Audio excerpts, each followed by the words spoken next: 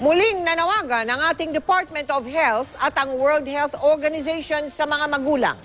Pabakunahan na kontra polio ang inyong mga anak na edad lima pababa. Kung hindi kasi mapipigilan ang pagkalat, posibleng mag-mutate ang virus at maging mas pahirapan na ang pagsugpo rito. Nakatutok si Chino Gaston. Pinag-iingat ng World Health Organization at ng Department of Health ang mga magulang sa Metro Manila dahil nakitaan ng type 1 at 2 polio virus ang 25 samples mula sa iba't ibang kanal, estero, lagusan ng tubig at mga water treatment plants sa iba't ibang parte ng Kamaynilaan at sa isang lugar sa Davao City. Base yan sa ginawang pagsusuri ng DOH RIDM at Japan National Institute for Infectious Diseases sa 142 na water samples mula July 1 hanggang November 26, 2019. Ayon sa DOH, posibleng nag-mutate ang poliovirus. Natural na lumalabas ang virus sa dumi ng nabakunahang bata.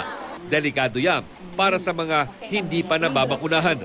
Kaya lang kapag ito ay napunta for example sa ating water supply, tapos nainom siya ng isang tao, makakain uli siya, then parang nagbakuna ka uli. Yung mutation na yon after a few years is enough na pagbabago na nagiging sanhi na uli siya ng sakit. Kaya payo ng DOH at WHO, pabakunahan ng mga batang edad limang taon pababa.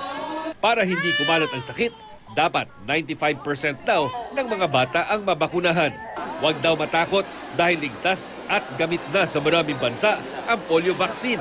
Sa datos ng WHO, isa sa tatlong bata sa bansa noong 2017 ang hindi na kompleto ang polio vaccination. Kaya posibleng resulta ito ng pag-aalinlangan ng mga magulang noon sa gitna ng mga kontrobersya sa Dengvaxia at vaccination program ng gobyerno. Kailangan din daw mahanap ang mga polio virus carriers na wala mang sakit ay walang tigil ang paglabas ng virus mula sa kanilang mga katawan.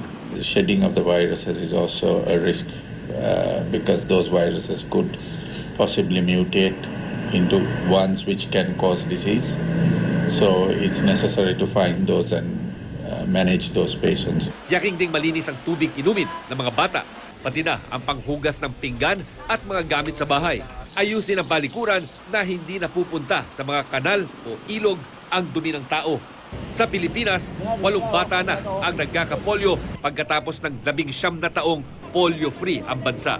Chino Gaston nakatutok, 24 oras.